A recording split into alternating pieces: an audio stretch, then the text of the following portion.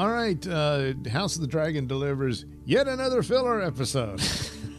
this one, and it's it that's unfair. I mean, filler episodes was a lot. This was the sort of things that uh, CW would do and that kind of thing. It's not quite at that level. I did see complaints about the previous episode, and I think that had a lot to do with following such a spectacular episode. Uh, where, uh, but but uh, judging between the two, uh, the previous episode is a bit more interesting uh, than this one. Uh, because a lot of stuff repeats, although there is some progression in the plots. Most notably, the storyline for Daemon and these hallucinations he keeps happening, and and whoever this mysterious woman is, looks like she has drawn him in at this point, and that what's her end game in all of this? And is he broken now? I mean, uh, his guilt has weighed him down about his brother and, and about him and Rhaenyra and all that sort of stuff uh, has played out, and uh, now he's becoming dependent on this woman. It appears as it goes goes forward. Uh, the rest of it, the title is Small Folk, of course, uh, the forgotten uh, peasantry, who are many in number as, as compared to the ruling faction, of course. Uh, you've been seeing the cruelties, uh, certainly out of Aegon. Uh, and don't expect anything nice from Aemond, who, in a lot of ways, is much smarter and more calculating, certainly cunning uh, than his brother was. But at the same time, he's still just a miserable, pissed off little boy.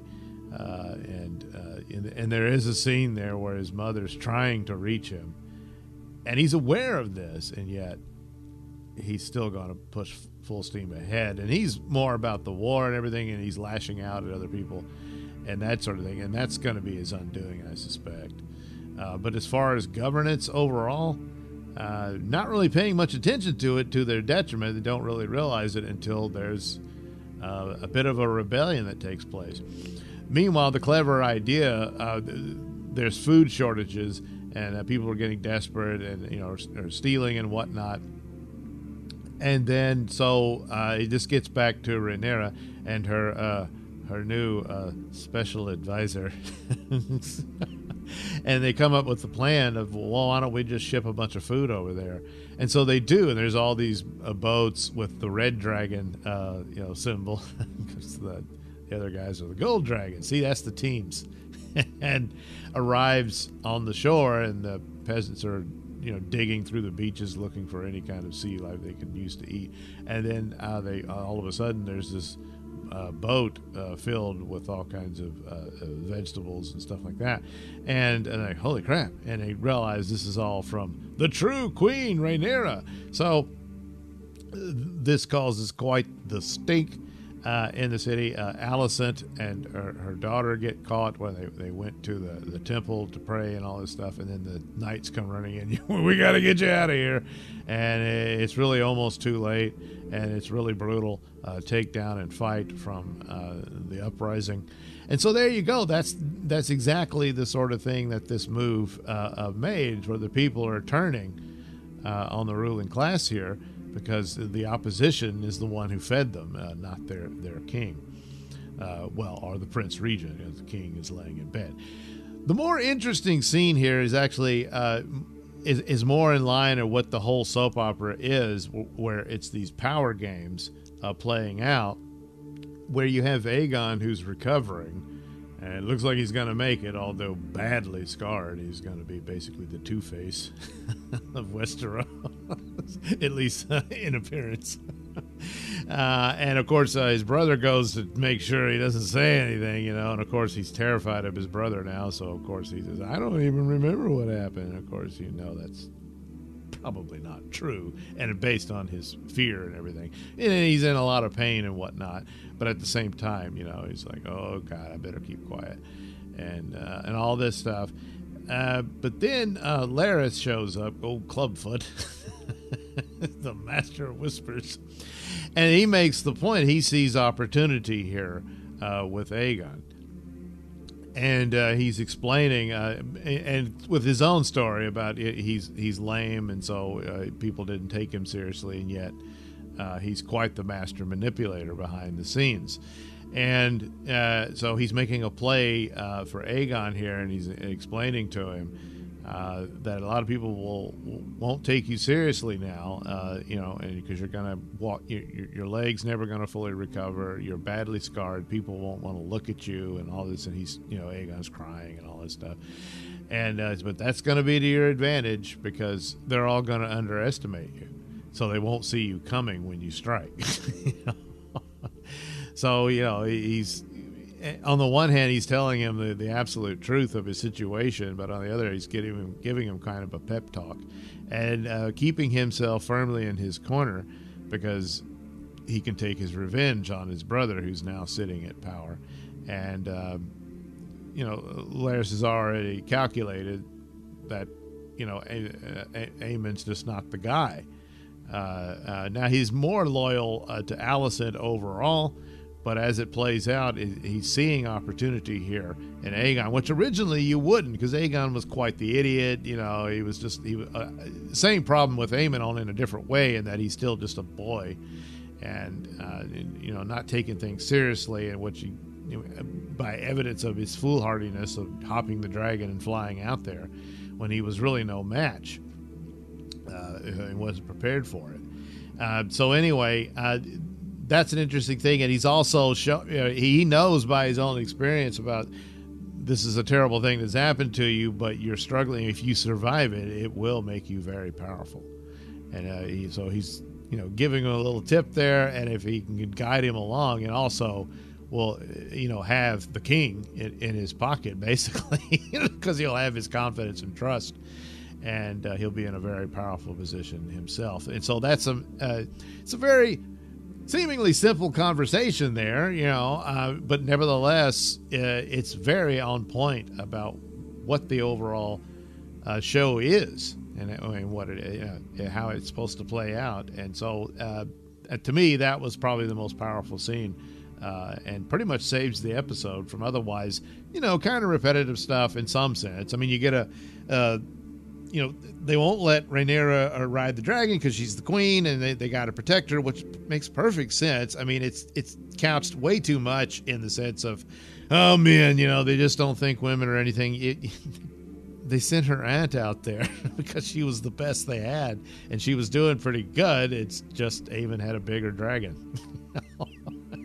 And I mean, what good would that have done if that had been Rhaenyra? Because then it's all, the war's over. You know, you're at the seat of power. Look what happened to Aegon. He decides to, the same uh, advice was given to him, and you know, but he ignored it and ran out there, and and nearly died.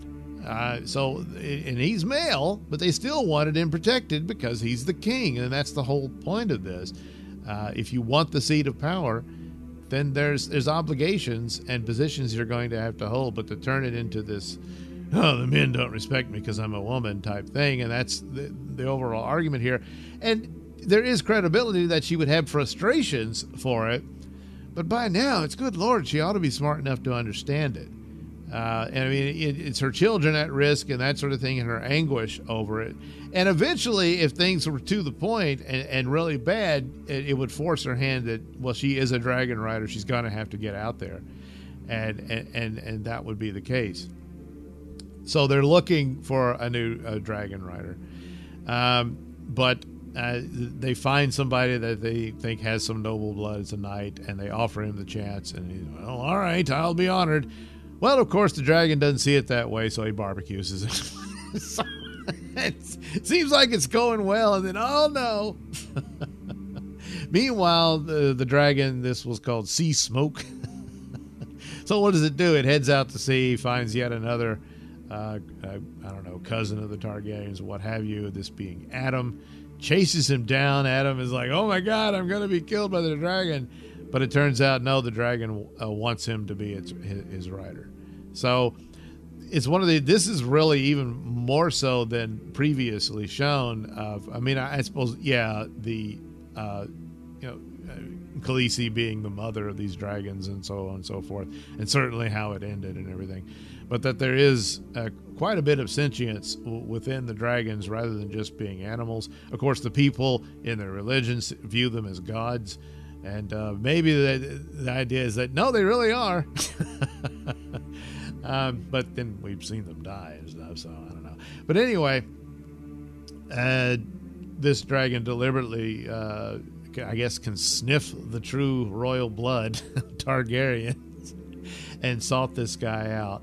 And so there you go. Uh, and at the end, when uh, Rhaenyra hears that Seasmoke has been seen flying around and has a rider, she's like, "What the hell?" So that's it. She's not going to listen to anything. She runs out to the dragon cave, hops a dragon, and hauls ass to go see what this is all about and uh, maybe have a new ally in all of this because they well they need more dragons and stuff but then of course the guy's untrained and everything but i suppose she could do that in the meantime the only thing that anyone talked about was the lesbian kiss which wasn't really that big of a shock i mean they've been developing this through the episodes it was obvious this sort of thing was going to happen and uh, and it was a well that's a sign of wokeness not necessarily because they did do groundwork on this because when you look in their youth, uh, Rhaenyra and Alicent, boy, they were a little closer than just besties. You know, I mean, yeah, yeah, and, uh, and, and, had they not been interrupted by the games of power and whatnot, which is what's corrupted them, you know, and it's the sad story uh, uh about it, they probably would have been a lot more than than just buddies, you know. But anyway, uh, so th- there's enough there to uh, say that the scene in and of it where she's complaining about things and she's talking about Daemon and doesn't know if he's really behind her or not anymore. Uh, of course, she's unaware of him descending into apparent madness, perhaps well, through supernatural means. Um, uh, uh, but she couches that all to that. Well, he's everything I wanted to be. I wanted to be a man, and all this sort of thing, and all that. Um, but it, there is the problem of you know you were genuinely attracted to him and, and, and intrigued by him and all that, and he used that uh, to try to worm his way back to power uh, from what his brother uh, cast him aside from, and so on and so forth. And, and the aspect of it is that well, Rhaenyra didn't really want power. I she certainly wants it now, and uh, it seems like she was pursuing it you know, quite vigorously uh, throughout this narrative, not just because of Daemon. And so the idea was that, oh, she's the, the one who deserves it most because she didn't initially want it. Uh, she didn't think she was going you know, uh, it was going to be an opportunity for her, but her father named her the heir, you know, and that set her on the course. And once you're on that course, just to stay alive, you've got to pursue it. That's the nature of it in this. So a few stumbles here, yeah, I think so. And could it get worse? Uh, sadly, yes. I mean, if they're suddenly going to do that, where it's all, boy, you know, everything would run great if just the women were in charge. Well, they have been in charge. Things still went to crap. They're, they've been in positions of power. That's what, why this is referred to as, as a game, because it is you know, and it, it's the power plays that go on. Even when you're king or queen, you you, you don't really have all the power, uh, and that's how that plays out. And again, and it, nothing has changed. Uh, there there are no heroes in this story.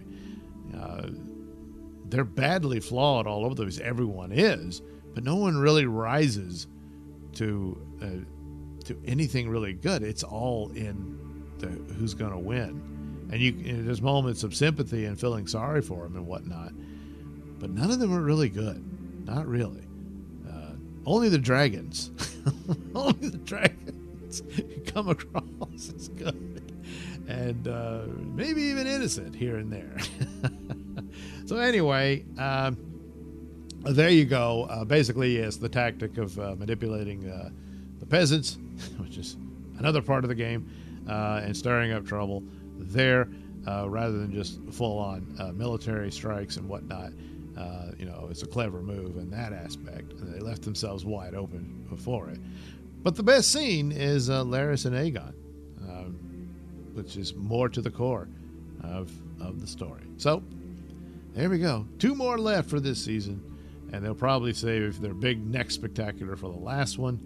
Uh, hopefully, the penultimate episode has a little more of that leading up to it. Uh, because uh, even though I'm defending them, it's it's not totally unfair uh, to refer to these as dull and, and boring. Um, but that's the nature of it. I don't know uh, unless you cut it down to six episodes instead of maybe you could tighten it up. Uh, but nevertheless, anyway, so far more or less so good. Uh, there's some stumbles. It's troubling, but uh,